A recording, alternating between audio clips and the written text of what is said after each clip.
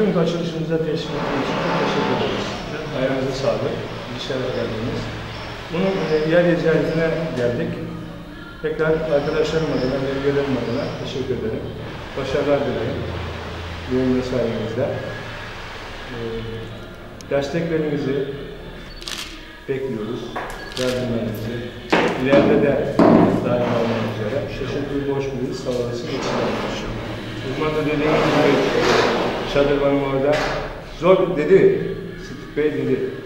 Dedi başkan dedi çok zor bir işe git soyunmuşsunuz. Allah etsin dedi sağ olsun. Gerçekten mayını bir tarla değil mi?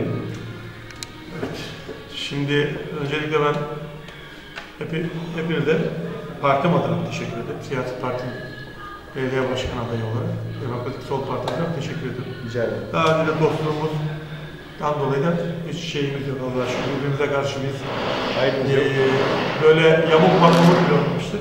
Aynen. Evet, büyük okullarında çok, özellikle hemşire dernekleri. Herkes heveslidir. Ama bu işe başladığın zaman bir bakarsın, bütün yük senin sırtında kalır. Orada onu bahs- bahsetmeye bahsettim. Hemşire derneklerinin asli görevini. Bir, hemşirelik bağlarını kuvvetlendirmek. İki, büyük şehirlerdeki olan sıkıntıları dernek vasıtasıyla daha rahat giderebilmek. İşte okullara okuyan çocuklara burs vermek. Bu tür sosyal faaliyetleri var.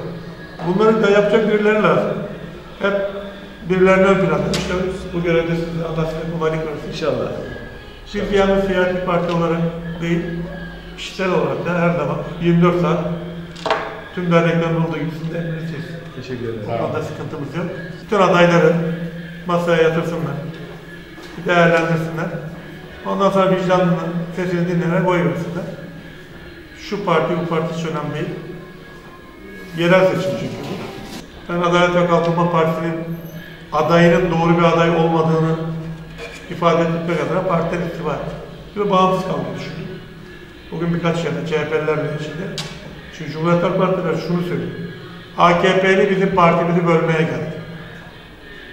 Yok öyle bir şey. Şu anda gerek Çiğli'de, gerek Korak'ta, gerek Bayrak'ta, işte ilçenin aşağı 19 ilçede Demokratik Parti, Sol Parti'nin adayı var. Biz de Çiğli'de bunu inşallah başaracağız, başaracağımıza inanıyoruz. Kadro öyle bir inançlı bir kadro.